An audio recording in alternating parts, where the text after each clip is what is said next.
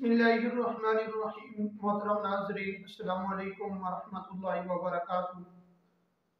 नाजरीन आज की वीडियो के अंदर मैं आपके सामने एक मसला ज़िक्र करूँगा। वीडियो को शुरू करने से पहले अगर आप हमारे यूट्यूब चैनल पर पहली मरतबा आए हुए हैं, आप हमारे चैनल को सब्सक्राइब करें। और साथ ही लगे बेल को प्रेस कर दें। इस तरह की वीडियो का नोटिफिकेशन आप तक पहुँचता रहे।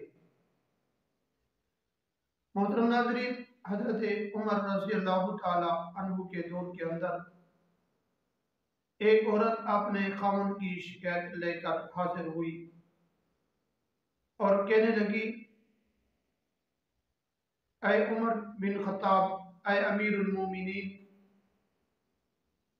मेरा मियाँ दिन के वक़्त रोज़ा रखता है और रात के वक़्त तहजत पढ़ता है। तो हज़रत उमर रज़ी अल्लाह तु ने इरशाद फरमाया, अल्हम्दुलिल्लाह, अल्लाह का शुक्र अदा करें। तो और भी सहाबा बैठे थे। तो हज़रत उमर रज़ी अल्लाह तु को उन साहब सहाबा कराम रज़ी अल्लाह तु ने अर्ज़ किया अमीर उलमोमिनीन आपके पास ये औरत शिकायत लेकर आई है। हज़रत उमर रज़ी अल्लाह ने उस औरत की दोबारा बात सुनी और हज़रत उमर रज़ी अल्लाह ने उस औरत को हुक्म इरशाद फरमाया कि अपने खामद को बुला कर लो जब वो औरत हज़रत उमर रज़ी अल्लाह की मजलिस के अंदर अपने खामन को बुला कर ले आई तो हज़रत उमर रज़ी ने जब पूछा तो उस आदमी ने वही बात इरशाद फरमाई जो उसकी बीवी ने कही थी। तो हज़रत उमर रज़ी ने इरशाद फरमाया कि तुम कुरान मजीद नहीं पढ़ते। अल्लाह तबारक व ताली ने इस बात को अपनी बीवी के हकूक़ को कुरान मजीद के अंदर ज़िक्र इरशाद फरमाया। वो शख्स कहने लगा अमीर अल्लाह तबारक व ताला ने कुरान मजीद के अंदर फरमाया। हज़रत उमर रज़ी ने फरमाया, जी, अल्लाह तबारक व ताला ने कुरान मजीद के अंदर ये बात फरमाई। मोहतरम नाजरीन, हम अपनी बीवियों के तमाम हुकूक अदा करने वाले बन जाए।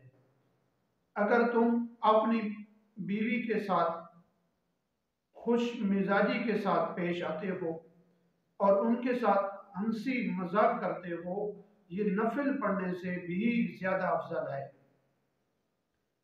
मोहतरम नाजरीन, आपने थंबनेल पर जो बात देखी है, उस बात की तरफ़ चलते हैं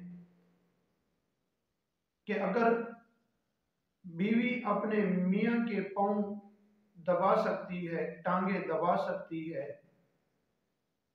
तो मियाँ को भी चाहिए कि अपनी बीवी के टांगे और पाँव दबा सकता है।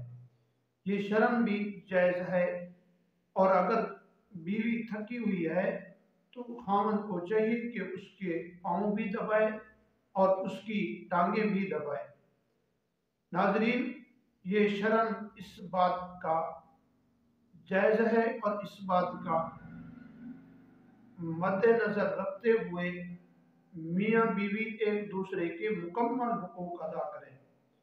नाजरीन अगर वीडियो आपको अच्छी लगे आगे भी ज़रूर शेयर कर दीजिए।